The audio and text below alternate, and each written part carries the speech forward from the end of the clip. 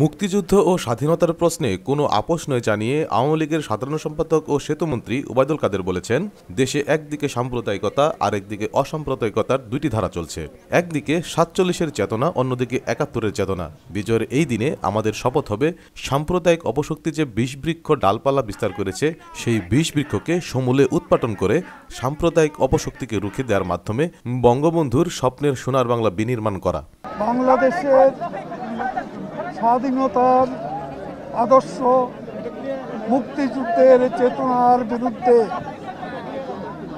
আজকে লড়াই করে যাচ্ছে একটি অশুভ সাম্প্রদায়িক শক্তি।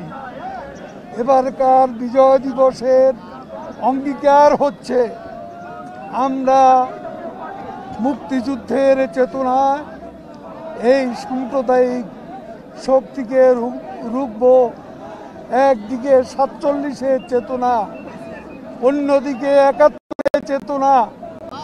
একদিকে সাম্প্রদায়িকতা আর একদিকে অসাম্প্রদায়িকতা। আজকে আমাদের এই দুটি ধারা চলছে। আমাদের আজকে শপথ হবে শেখ হাসিনার নেতৃত্বে। আমরা মুক্তিযুদ্ধের সকল শক্তিকে ঐক্যবদ্ধ করে সাম্প্রদায়িক অপশক্তি আজ সাম্প্রদায়িকতার যে বীজ বৃক্ষ ডালপালা বিস্তার করেছে, সাম্প্রদায়িক সেই বীজ বৃক্ষকে আমরা সমূলে উৎপাটিত করব। এবং বঙ্গবন্ধুর স্বপ্নের সোনার বাংলা বিনির্মাণ করব।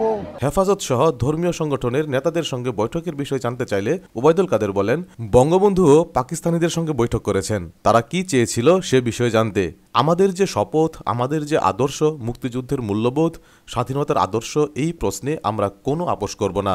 সেটাও আমরা তাদের জানিয়ে দিতে পারি। আমাদের যে শপথ আমাদের যে আদর্শ মুক্তিযুদ্ধের মূল্যবোধ স্বাধীনতার আদর্শ। এই প্রশ্নে আমরা কোনো আপোষ করব না।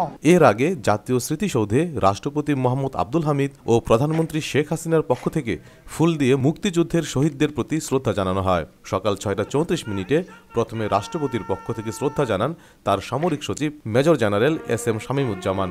এরপর প্রধানমন্ত্রীর পক্ষে শ্রদ্ধা জানান তার সামরিক সচিব মেজর জেনারেল আহমেদ চৌধুরী।